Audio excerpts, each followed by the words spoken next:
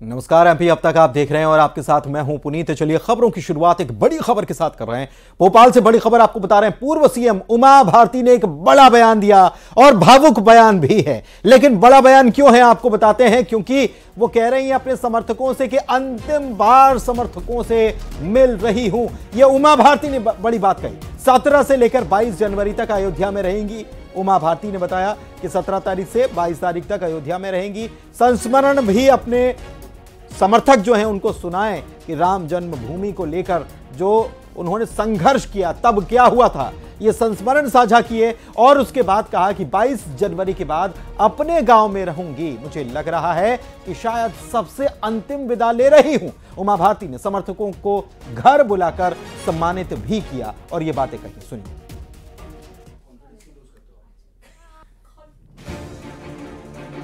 भोपाल में उमा भारती ने जो कुछ कहा उसके मायने निकाले जा रहे हैं।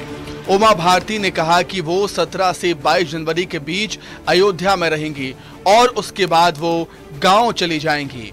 समर्थकों के बीच उमा ने बेहद भावुक बयान दिया। मुझे तो ऐसा लग रहा है जैसे मैं आप लोगों से आखिरी विदाई सी दे रही इसलिए मैं अपने गाँव भी जाऊँगी, ओरछा भी जाऊँगी। और मैंने उतने लोगों को फ़ोन किया जो या तो राम रोटी यात्रा में गए थे या उसकी व्यवस्था में थे यहाँ से व्यवस्था देख रहे थे यहाँ से जो गए थे या मेरे साथ अयोध्या आंदोलन में कभी जुड़े रहे। उधर राहुल गांधी ने मणिपुर से भारत जोड़ो न्याय यात्रा शुरू कर दी है। उमा भारती ने राहुल गांधी की यात्रा पर सवाल उठाए साथ ही पाक अधिकृत कश्मीर में यात्रा करने की नसीहत दी। भारत जोड़ो तो तब होगा ना जब भारत तोड़ो हो रहा होगा। तो राम के नाम पर पूरा भारत एक हो रहा है। तो भारत में क्या जोड़ना है उनको? मैं उनको कहूँगी कि भारत अगर जोड़ना है तो राम के नाम पर पूरा भारत एक है, एक ही जगह भारत जुड़ जाएगा, तुरंत पहुँच जाओ आप अयोध्या जी में। राहुल जी को मैं कहूँगी इसके लिए इतना बसों में गाड़ियों में बैठने की ज़रूरत ही नहीं है। भारत जोड़ो यात्रा में, रह करके भारत को जोड़ने के लिए ज़रूरत नहीं। राम के नाम पर मोदी जी सबको जोड़ लिए हैं। हमें भारत जोड़ना है तो मणिपुर से नहीं, पाक अधिकृत कश्मीर में राहुल गांधी को जाना चाहिए और उस कश्मीर को भारत से जोड़ो। ये करना चाहिए। वहाँ पहुँचने की हिम्मत नहीं है तो मणिपुर में पहुँच गए हैं। इसलिए आप या तो पाक अधिकृत कश्मीर से यात्रा शुरू करो या अयोध्या जी पहुँच जाओ। क्योंकि उमा भारती के सोशल मीडिया पर पोस्ट पर भी कई बार चर्चा हुई है। एक बार फिर उनके बयान सुर्खियाँ बटोर रहे हैं।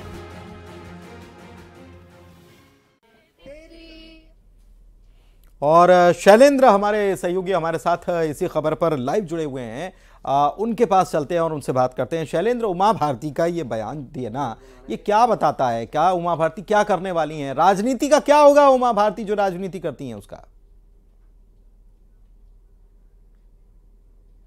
जिस तरीके से बयान आया है निश्चित ही कहीं ना कहीं ये बयान काफ़ी इसलिए चर्चा चर्चा में है कि उमा जी हमेशा जब भी अपना बयान देती है तो वो हमेशा कहीं ना कहीं कुछ सोच समझ कर ही देते हैं। तो निश्चित ही जिस तरीके का बयान सामने आया है तो उमा जी जिस तरह से बात रखी उमा जी ने अपनी और उमा जी ने कहा है कि सभी उन कार्यकर्ताओं को बुलाया जो कार्यकर्ता कहीं ना कहीं उनके स्टाफ में लगातार काम करते थे उनके स्टाफ में लगातार सक्रिय थे।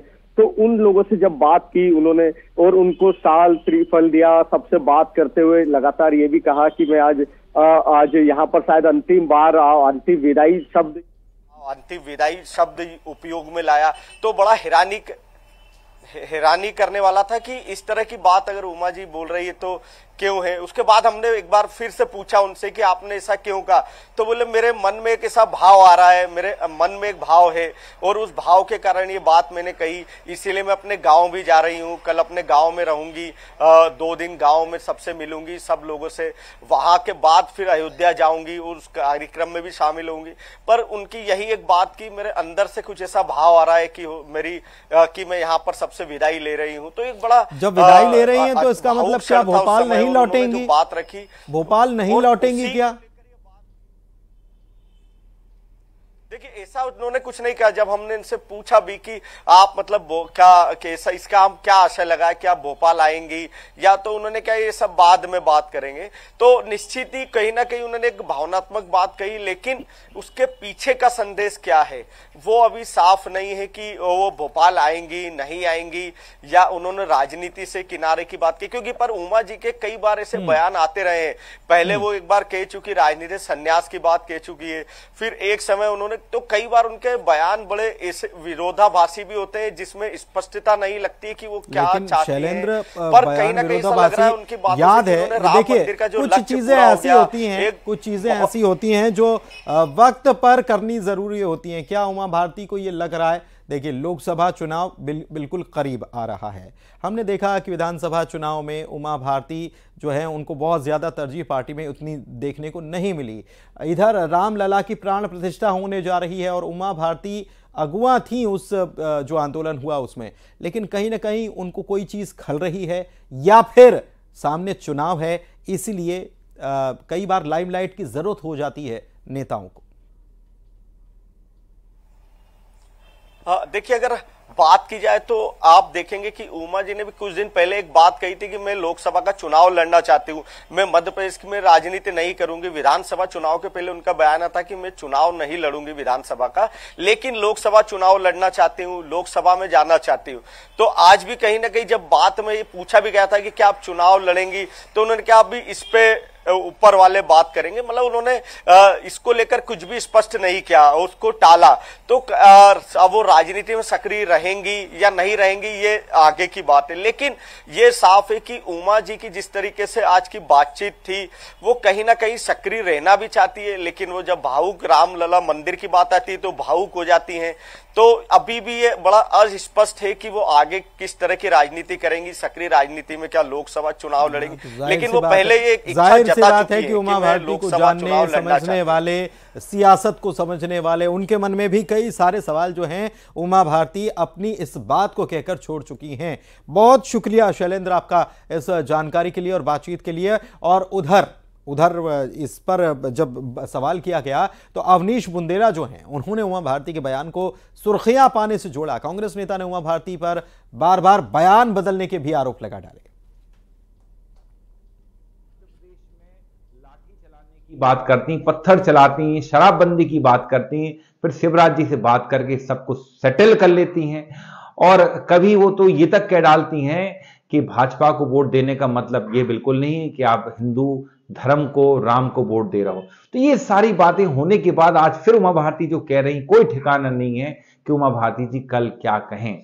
क्योंकि उनकी राजनीतिक ज़मीन मध्य प्रदेश से तो पूरी तरह खत्म हो चुकी है। ना उनके लिए मध्य प्रदेश में स्थान है, ना ही उत्तर प्रदेश में स्थान है। हकीकत बात यह है कि उमा भारती जी पल पल सुर्खियाँ बटोरकर सिर्फ़ अपनी राजनीतिक ज़मीन पाना चाहती जो कि अब असंभव है, क्योंकि खुद अब वो भाजपा में दरकिनार कर दी गई हैं। और अयोध्या में रामलला की प्राण प्रतिष्ठा में शामिल होने के निमंत्रण को ठुकराने के बाद कांग्रेस में बगावती तेवर देखने दिखाई दे रहे हैं।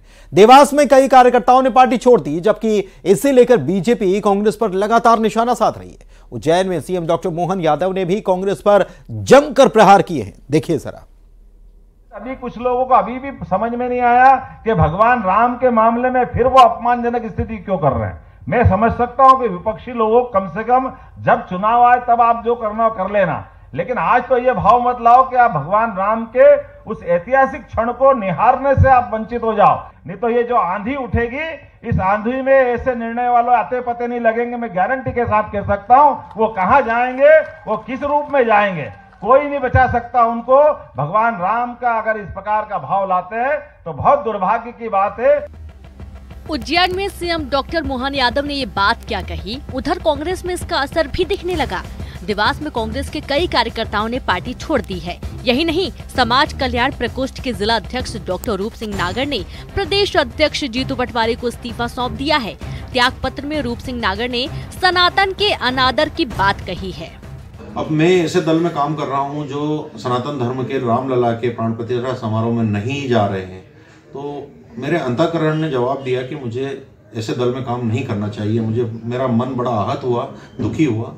इस कारण से मैंने कांग्रेस पार्टी से इस्तीफा दे दिया। उधर महाराष्ट्र कांग्रेस के बड़े चेहरा रहे मिलिंद देवड़ा ने भी पार्टी से इस्तीफा दे दिया है।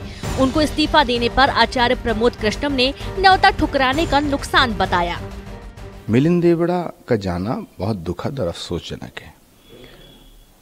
और भगवान राम के मंदिर के निमंत्रण को जिस तरह से ठुकराने का काम किया है जी। तो मुझे लगता है कि भगवान राम का प्रकोप प्रारंभ हो गया है देवास में कांग्रेस कार्यकर्ताओं की बगावत पर सांसद महेंद्र सिंह सोलंकी ने भी बयान दिया और कहा कि जो सनातनी होगा वो इस तरह से ही कांग्रेस का दामन छोड़ देगा ये इनका दुर्भाग्य है और जिस प्रकार से इन्होंने राम मंदिर के प्राण प्रतिष्ठा के आमंत्रण को ठुकराया है। 2024 में देश की जनता इन्हें ठुकराएगी। कांग्रेस ने राम मंदिर में प्राण प्रतिष्ठा के निमंत्रण को ठुकरा दिया था। इसके बाद से कांग्रेस बीजेपी के निशाने पर आ गई है। हालाँकि कांग्रेस भले इसे सियासी हमला बता रही हो, लेकिन पार्टी के जो नेता इसे गलत ठहरा रहे हैं, उसका कांग्रेस क्या जवाब देगी? Bureau report, news eighteen. और इधर प्रधानमंत्री मोदी की अपील के बाद मंदिरों में स्वच्छता अभियान चलाया गया। एमपी में सीएम के अलावा कई बीजेपी मंत्रियों ने मंदिरों में साफ़ सफ़ाई का अभियान चलाया।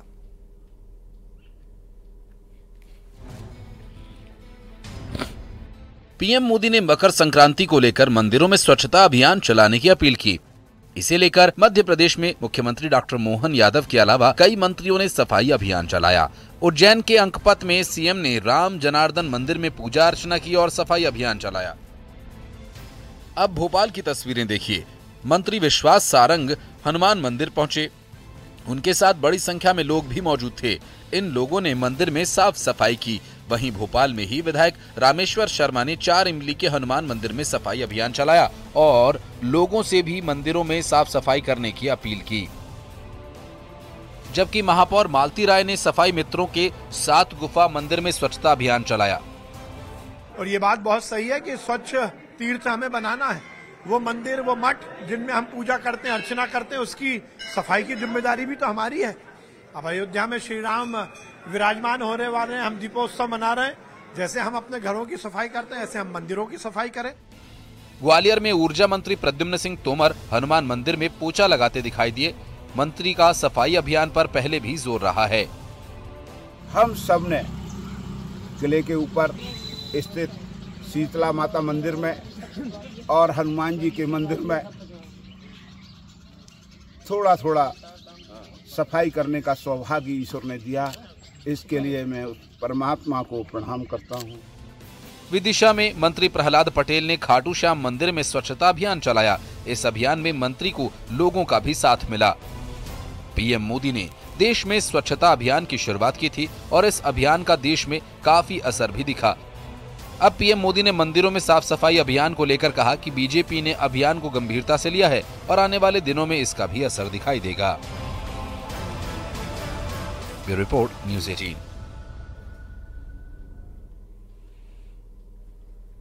Ujjain के दौरे पर सीएम डॉक्टर मोहन यादव पहुँचे और वो भक्ति में लीन नज़र आए। सीएम डॉक्टर मोहन यादव ने नागदा में मुक्तेश्वर महादेव मंदिर में पहुंचकर जलाभिषेक किया, पूजा अर्चना की और इसके बाद मंदिर परिसर में पौधारोपण भी किया।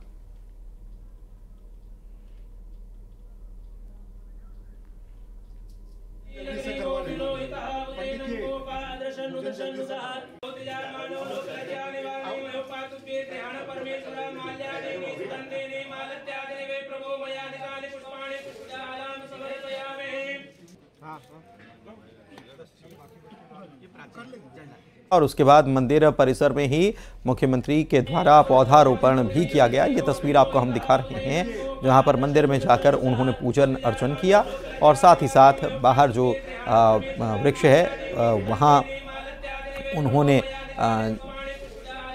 जल समर्पित करते हुए यहाँ पौधारोपण भी किया। उसकी तस्वीर भी आपको दिखा रहे हैं